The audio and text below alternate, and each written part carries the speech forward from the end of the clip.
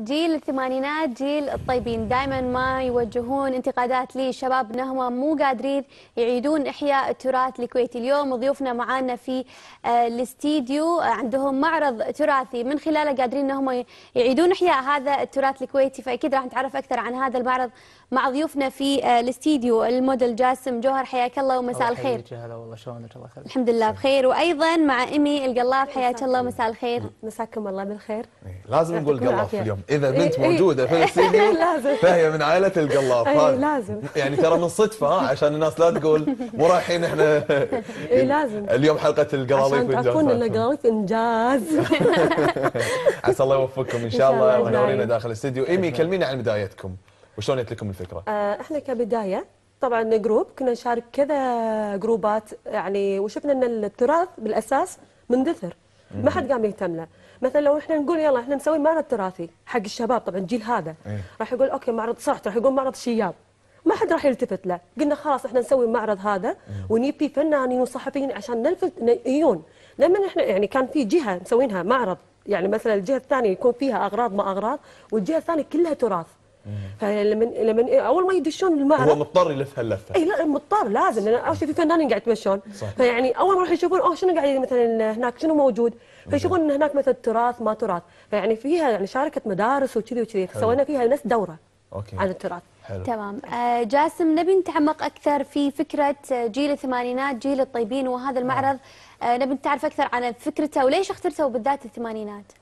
طبعا آه، هو جيل الثمانينات لأن أساسا جيل الثمانينات كان ما بين جيل ال- ال- ال- ال- اللي هو الجيل الطيبين وجيل المستقبل نعم. المطيبين إحنا اختار اي فإحنا اخترنا شكلك تقول طيب والمو طيبين أنتم كلكم. ثمانينات الحين كلهم طيبين إن شاء الله إيه. اي فإحنا قررنا إن يعني آه، نحيي التراث الكويتي القديم ونحيي تراث أجدادنا وأيضا إن نعرف الجيل الحاضر اللي هو جيل ال- الآيباد مثل ما يقولون على تراث الكويتي الطيب. آه، ومثل ما قالت إيمي يعني آه، التراث الكويتي أساسا أو يعني بشكل عام التراث قام يندثر خصوصا بحضور التكنولوجيا وغيرها من هالأمور. فعشان شي إحنا حبينا إن نتطرق حق هالموضوع بشكل عام. يعني. أنا أنا جاسم عندي سؤال شوي غير. تفضل. أقدر أقوله أنت ما شاء الله موديل وفاشن ولبس حبيبي. ومرتب الله يخليك. آه شلون تقدر أنت توظف هالشيء بهذا المعرض؟ اللي هو قصدك إن ال- ال- ال look ال look ال- أيوه ال look. والله هي هي مو شغلة طبعا سهلة. يعني أنا حتى في في فترة من الفترات حبيت أقدم لبس ال- التراثي اللي هو الشريمبا واللبس القديم آه، كامل. زائد إني أطعمه بال- بالأمور اللي هي الموديل مال. يعني مثل القديم مع الجديد. حلو. كانت الفكرة حلوة بس انها كانت شوية صعبة. واتوقع إن إن شاء الله لي بالمستقبل بهال- بهالمجال. إن شاء الله. إن شاء الله. إيمي هل تتوقعين يعني إقامة هذا النوع من المعارض هي اللي قادرة أن هي ترد إعادة إحياء التراث الكويتي؟ آه، هل الرسالة ممكن هي توصل من خلال هذا المعرض؟ اي أكيد توصل لأن صراحة كانوا المشاركين فيه باحثين تراثيين ومؤرخ. طبعا أوجه لهم تحية. يعني من بعدهم مشاركتنا يعني معانا صار الحين عندهم team إكس إكسبو 965 نعم. فيعني صار يعني شيء يعني الناس قامت تروح له.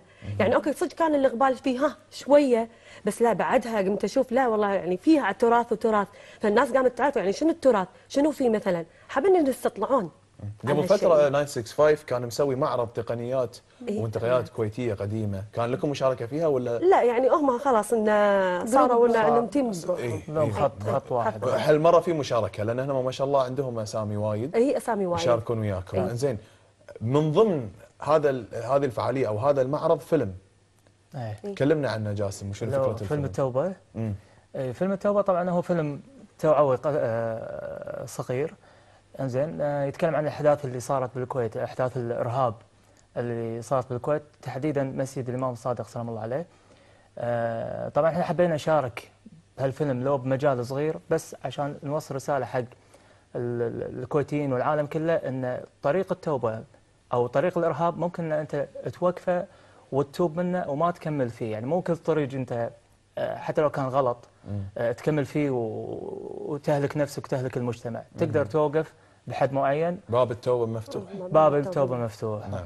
إيه. صحيح. يمكن كانت لك عدة مشاركات آه، تطوعية آه، في مختلف المجالات نقدر نقول مختلف القضايا اللي أنت قادرة أن أنت تاخذينها وتخوضينها. سواء كان تطوع وغيرها. كلمينا عن مشاركاتك. آه، مشاركاتي كانت آه، شاركت بماراثون قائد الإنسانية بمناسبة حصولها على اللقب وشاركت هم مع مجموعة آه، نفع الأمل التطوعية من السعودية. قدموا لي دعوة إني أشارك معهم حق مهرجان لذوي احتياجات الخاصة في دبي. وشاركت يعني كذا يعني كذا أشياء. مثلا معارض خلينا نقول عقارية معارض شبابية. هل حب التطوع اللي قاعد يخليك تشاركين في أكيد هالمعارض؟ حب التطوع. لأنه يعني أول شيء كسب الخبرة وثاني شيء هم العلاقات يعني أنا أحب صراحة إني أكسب علاقات لأن أنا مجالي إدارة أعمال فيعني إيه، لازم. إني أحب انه أشوف شيء جديد. يعني مو لازم إنه آه إنه يكونون مثلا بس بالكويت. لا أبي أتعمق أكثر. ممتاز. زين آه أنا ما أخذت آه رأيك في موضوع آه، فيلم التوبة. أبي أتكلم عن أنت شلون شايفة إنه ممكن فيلم التوبة آه يساهم في نجاح معرض نفس خاص في موضوع آه التراث؟ التوبة إيه؟ فيلم؟ إيه. يشاركوا في معرض التراث؟ لا فيلم التوبة الحين إيه، فيلم سمعنا. التوبة، أوكي. رايه نبي رايك في في الفيلم. يعني آه فيلم التوبة رأيي فيه انه آه، يعني إحنا أول ما سوينا الفيلم. أنا استغربت من ردة فعلك إنك أول مرة تسمعين الفيلم. حسيت انه سؤال مونك يعني. هي أساسا مشاركه فيه بعد. أنا أنا شاركة فيه يعني أنا مو غلطان كلش. لا لا. مساعد المخرج بعد؟ انت يعني- مساعد المخرج. اي يعني. ما تدري اسم الفيلم. لا شلون ما أدري. زين. فيعني أنا أول كان أول بدايتنا أول ما صار التفجير يعني صراحة الفئة اللي كانت تستهدف وإن يعني صراحة تطالع هالأيام صراحة فئة المراهقين. لأن هم بسرعة يتأثرون بالشيء. كانت فكرتنا إن أوكي لا يتبعون مثلا خطوات الشيطان على مثل هالشيء. لأن أول شيء راح يضيع وطنه. ثاني شيء راح يضيع عمره على أشياء يعني هذا عمل إرهابي وما له دين. يعني هذا إحنا غايتنا إنه يعني أم- لما يشوفون الفيلم إنه في مجال للتوبه من شيء إحنا حطينا توبة على أساس إنه لا يلجؤون حق هالشيء تمام. آه يمكن لخصتوها كلها من خلال هذا المعرض. معرض وفي فيلم قادرين أنتم توصلون فيه رسالة وبالأخص لجيل آه الشباب. جاسم إذا بتكلم عن أكيد في صعوبات كانت تواجهكم يعني أثناء ما كنتوا تحطون الفكرة تبلشون طبعاً. فيها التعاونات اللي كنتوا تتعاونونها مع شخصيات لها في هذا المجال أي. شنو أكثر شيء واجهتوه والله أختصر لك طبعا الصعوبات كلها بكلمة واحدة اللي هي الإجراءات إحنا لما نبي مثلا نسوي آه، مؤتمر ولا معرض أو تصوير عندنا الإجراءات وايد صعبة وايد مصعبينها لازم عندك آه، الله يلعن الشيطان اللي هو إجراءات المعرض تأسيس المعرض واقامته يعني إيه مثل آه، إذا كنا يعني بنروح نقدم مثلا على المكان مثلا يعني شيء- كمعاملات يعني. يعني كمعاملة لها. يعني مثلا نبي تصاريح راح يقول مثلا تصاريح. قدمي من هني مثلا أوكي قدمنا من هني. نروح مكان ثاني لا روحي هناك. فيعني الإجراءات تطول. يعني ما تأخذين يمكن أنت تنسين شنو تبين. عرفت شلون؟ يعني ناسي ليش أنا جاية بسوي معرض ولا أسوي شيء ولا شنو بالضبط؟ أنتم أكيد لما لما حاولتوا تسوون هذه الفكرة قدمتوها حق حق جهات حكومية وجهات خاصة للدولة، شلون شفتوا reaction وردة فعل هذه الجهات من ناحية الدعم الخاص للدولة؟ هو ال reaction. مالهم كان حلو. يعني بالعكس كانوا يساهمون ويانا ويعطونا حتى قالوا إذا تبون نساهم معاكم بأفكار أو مثلا الدعم أو شيء كذي.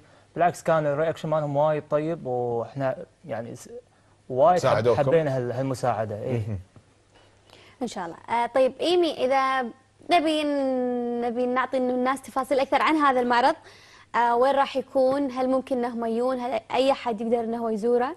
آه مدته والوقت. تفاصيل نفس هذه آه، أول شيء المعرض هذا يعني متاح حق الكل صحفيين إعلاميين ناس عادية فعادي. لأن إحنا غايتنا انه يلتفتون حق هالمعرض إن التراث. يعني لازم إنه أوكي إنه يعني أشياء إجدادنا خلوا لنا إياها. خلينا نعتبر إنه كنز. زين أوكي شلون أنا بوصل هالرسالة؟ حق جميع الفئات إنه لازم إنه يجون. يعني إحنا هم فكرنا إن شاء الله ان نسوي المعرض برا الكويت مو بس داخل الكويت. أنا يعني حابة إني أوصل دول أوروبية لأن شفت إن أكثر الأخبار ترى صراحة الأجانب يقول مثلا شنو هذا؟ شنو يعني أنا حبيت إن نعرفهم حق هالشغلة. يعني إن شاء الله إن شاء الله إنه راح نسوي برا. إن شاء الله. والله أنتم لو تدزون حق السفارات اللي بالكويت ترى الناس اللي موجودة في الكويت تزون حق سفارات تزون مسجات ترى اللي موجودين داخل الكويت يتمنون لما يروحون المباركيه أصلا. شفت إيش يصير فيهم؟ صح. فعلا. هم إيه ناس باحثين. في يحبون يثقفون من ناحية تاريخ هذه الدولة. ففرصة إنه ممكن يكون إيش- إذا تبي تحاسبوني على الفكرة امين القلاف يعطيك العافية. وأيضا جاسم جوهر شكرا على حضوركم. اليوم. تواجدكم عسى الله يوفقكم. في المعرض. كذي وصلنا لنهاية حلقتنا لليوم من خلال برنامج رايكم شباب. أنا ويا إسرار. واترك النهاية وياك لكن بقول آخر شيء إن اليوم الحلقة أنا وجاسم بس الوحيدين الشباب اللي فيها. غير كذي الب- البنت هي اللي اخذت ال- انجازات. أكيد نلقاكم على خير على نفس الموعد. مع السلامة. مع السلامة.